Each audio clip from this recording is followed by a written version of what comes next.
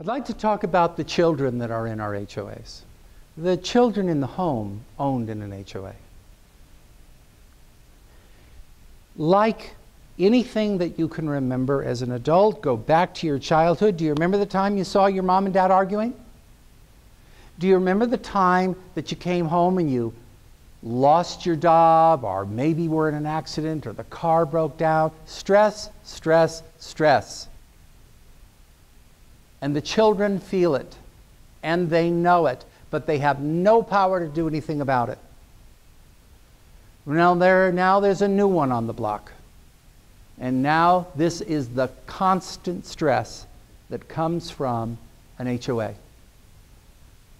And the children hear the parents talking about the fine that they got, and they can't do this, and I'm not going to take that, and on and on and on.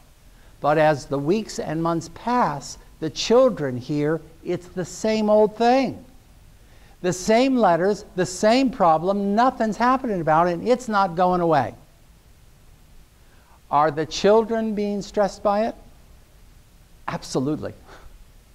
Absolutely, they're being stressed. And I'll take it one step further. We know that in utero, pregnant women who are under stress give birth to children's, children with more problems. Is it reasonable for us to believe, not having access to the research materials specifically in HOAs, is it reasonable for us to believe that it is dangerous for someone who is pregnant to live in a homeowners association? And I will argue, given the current information, that being pregnant in a homeowners association is dangerous.